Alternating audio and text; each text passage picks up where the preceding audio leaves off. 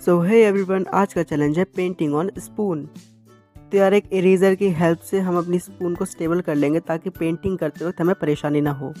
तो सबसे पहले मैंने वाइट पेंट करके उस पर स्काई का कलर कर दिया है और बाद में हम घास का मैदान बनाने के लिए ग्रीन कलर का यूज़ करेंगे. डार्क ग्रीन का यूज़ मैंने हाईलाइटेड पोर्शन के लिए किया है और फिर वाइट कलर का यूज़ करके हम स्काई बना लेंगे. तो गाइज़ फ्लावर बनाने के लिए मैंने यहाँ पे येलो और पिंक कलर का यूज़ किया है.